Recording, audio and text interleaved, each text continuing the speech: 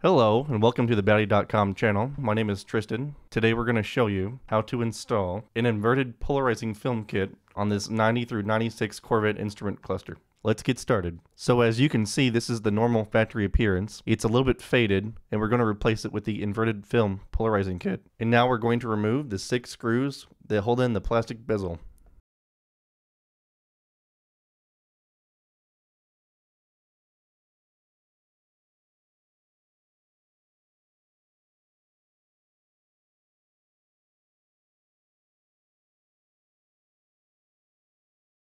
And now we're going to remove the plastic bezel. Set that aside. And now we're going to show you how to safely remove the LCD panel. Don't use any pry tool to remove this, only use your fingers. We're going to hold from the bottom and the top and gently rock back and forth on the top LCD connector.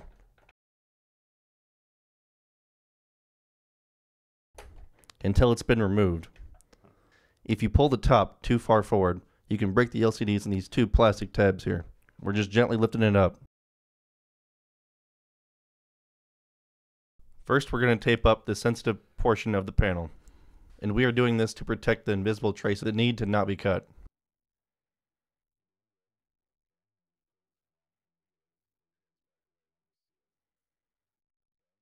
As you can see, we've taped up all the top visible portion of the panel and we're going to use a razor blade provided in the kit to remove the film and graphic away from the glass. And we're going to use some standard glass cleaner to lubricate this or to help remove the glue.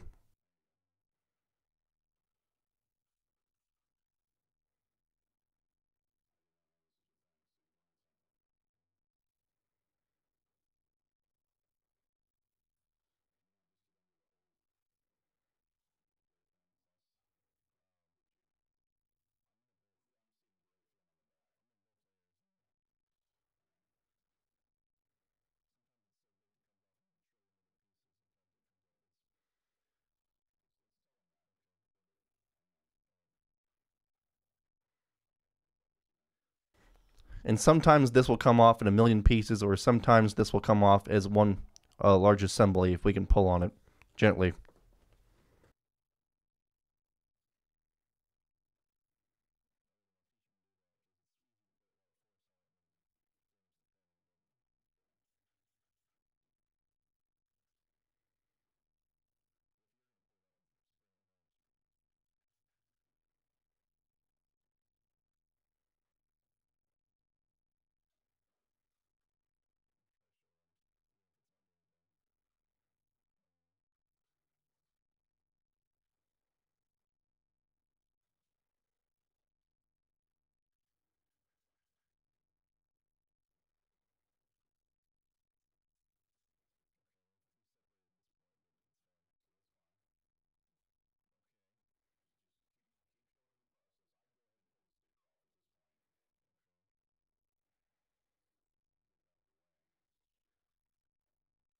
And sometimes the graphic can come off um, apart from the film.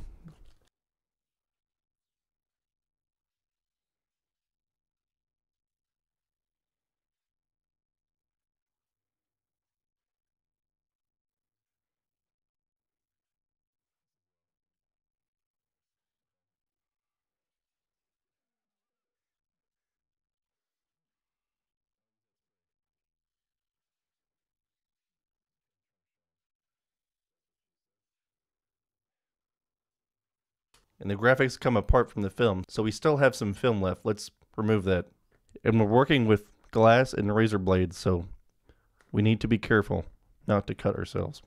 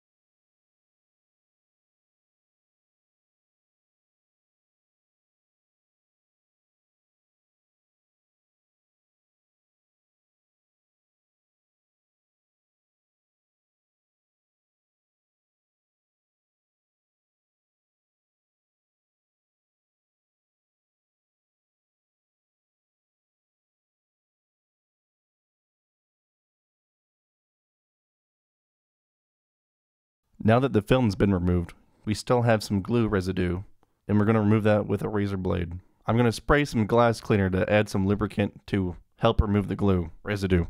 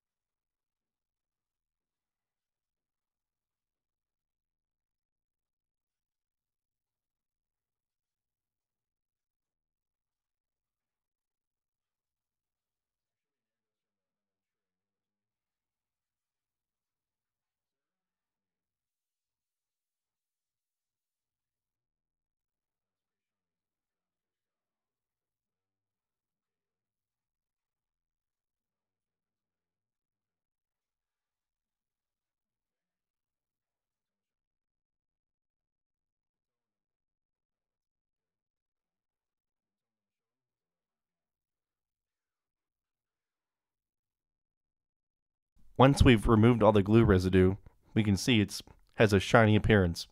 That's the glass. We want to be absolutely sure there's not any dust that might cause a bubble in the film application. This one's the top film, and this one is the back film. The top is the one where the pins point away from you, and the bottom one is the shorter one. And we set the LCD on something tall to protect the pins from getting bent. And I'm going to remove the protective film on top. And this is an optional step, but we found in the shop we can use an air duster to make sure there's no dust before we apply any film. And now we're going to peel the bottom protective glue layer.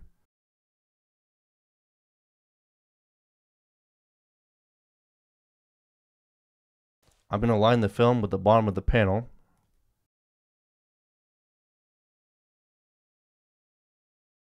And roll it with a film roller.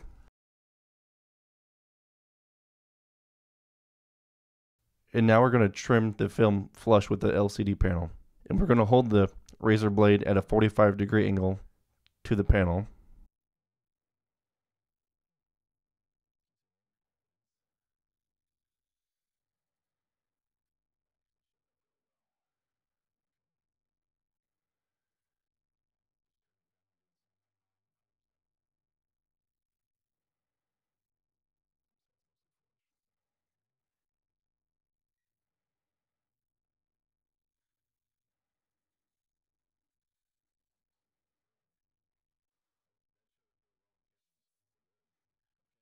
And when we're done, the film is flush with the edge of the panel all the way around. And we're going to repeat the process on the reverse.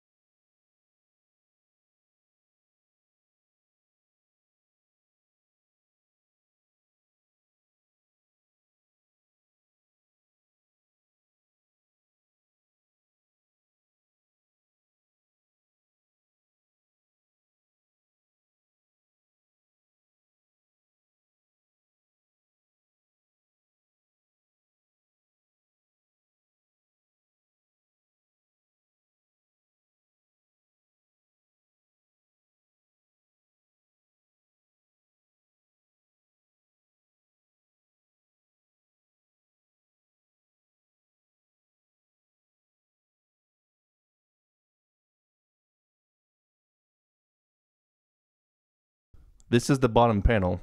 It's shorter than the LCD panel. We're going to align the bottom of the film with the bottom of the LCD panel edge.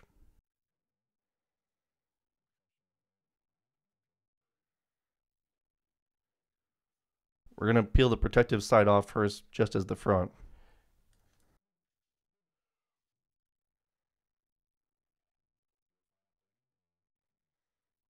I'm going to redust this to keep the dust off.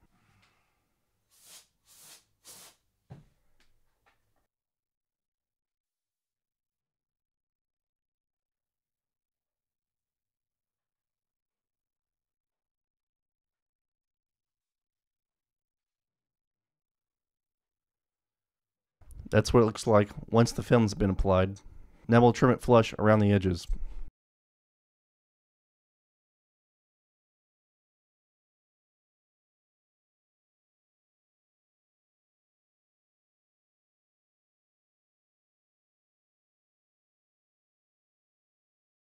And now we're going to apply the factory graphic. And we're going to prep this with an alcohol pad provided in the kit. And it is absolutely necessary to do this to remove oils and fingerprints from the polarizing film. Otherwise, the graphic won't stick.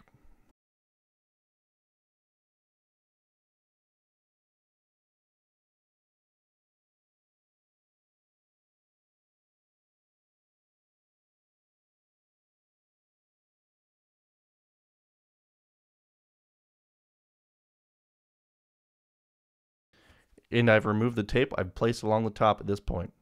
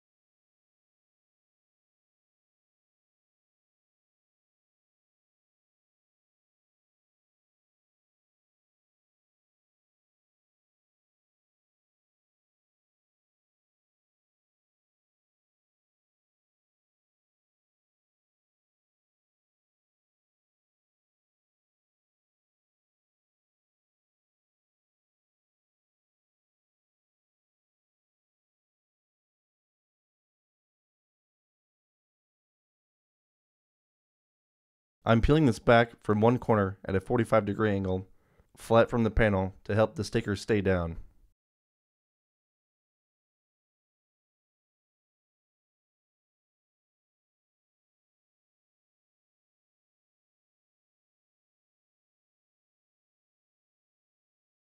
Here we see the finished panel. We can reinstall it into our cluster now. And now we're going to reinstall the LCD. We're going to put the bottom corners in first and align the pins with the holes in the connector. And when we're going to reinstall, be mindful of this plastic square tab here. It can break the corner of the LCD if you're not careful. And the glass needs to be under this piece of plastic in the top right corner.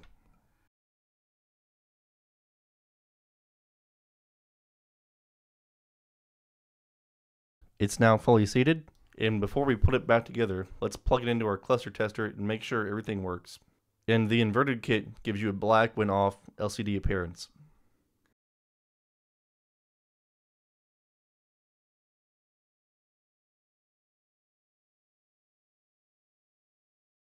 And the information is orange instead of black, and the image is nice and contrasty. And this is the real life appearance that the inverted film kit provides. Let's reinstall the bezel.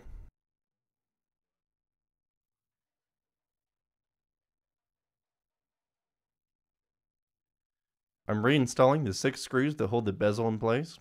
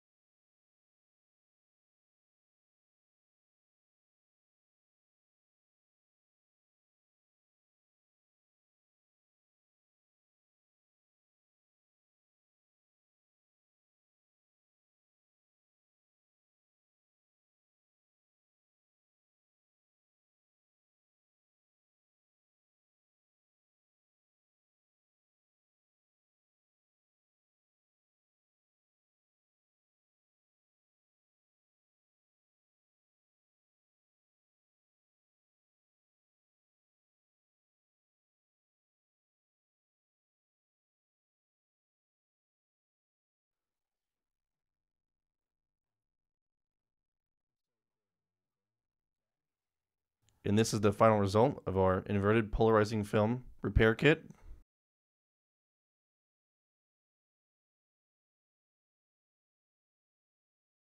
Thanks for watching.